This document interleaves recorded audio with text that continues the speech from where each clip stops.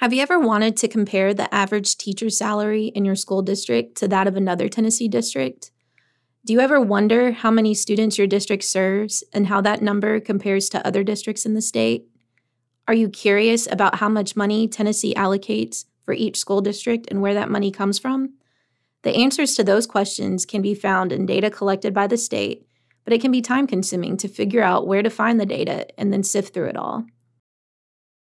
Thanks to a new tool created by the Tennessee Comptroller's Office, your search for the answers to those questions and more has never been easier. The Tennessee Comptroller's Office of Research and Education Accountability, or OREA, has created a new interactive dashboard displaying key data about K 12 education. OREA's K 12 dashboard includes data on student demographics, salaries and personnel, and state and local revenues for education.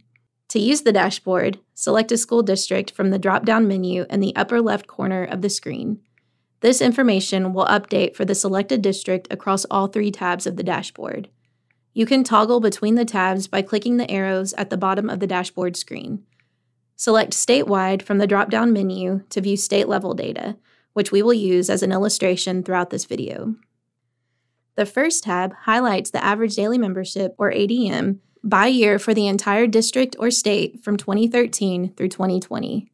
The ADM represents how many students are enrolled in school and is commonly used for per pupil funding calculations. In the top right box, each district's ADM is broken down by demographic and special population category. The dark blue line represents students who are economically disadvantaged. The light blue line represents students with disabilities, and the red line is for students with limited English proficiency. Definitions for each term can be found in the box at the top left. In the bottom left box, the district's total ADM is plotted on a line graph. You can see how a district's ADM has risen or fallen for each year from 2013 through 2020. The bottom right box shows a breakdown of the ADM by student demographics. Each bar shows the percentage of students who are African American, Asian, Hawaiian, or Pacific Islander Hispanic, Native American, or white. Hover over each section of a bar to see the total number of students per category for that year. The second tab of the dashboard contains data about each district's salaries and personnel.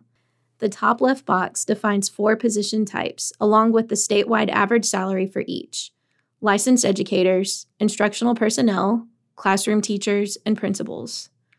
The top right box contains the average salary for each type of position in the district. The orange line shows the average salary for classroom teachers, the light blue line for instructional personnel, the red line for licensed educators, and the dark blue line for principals. The line graph shows the average for each school year from 2013 through 2020. The bar graph in the bottom left box represents the number of licensed personnel employed by the district each year. Hover over each bar to see a pie chart breaking down the number of licensed personnel by position type. In the box on the bottom right, hover over each year of the graph to see the percent change in average salary by position type from one year to the next from 2014 through 2020. Each line highlights the percent change for each of the four types of positions.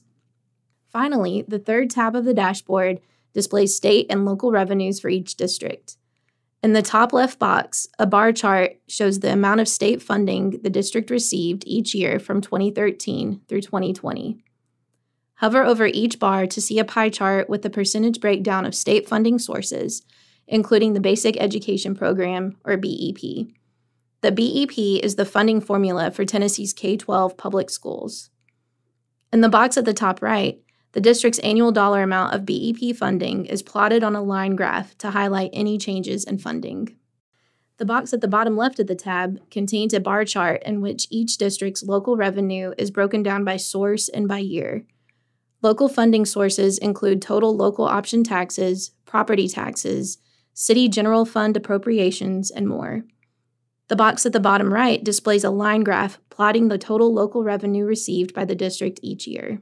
The data used in OREA's K 12 dashboard comes from the annual statistical report published annually by the Tennessee Department of Education. For more information on OREA's K 12 dashboard and other topics, please visit the OREA website.